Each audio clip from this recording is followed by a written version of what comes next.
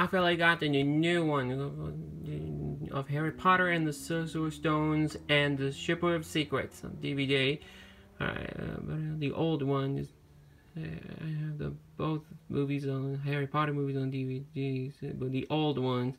But I finally got a new copy. But and uh, I hope you get both old DVDs when you get to throw away.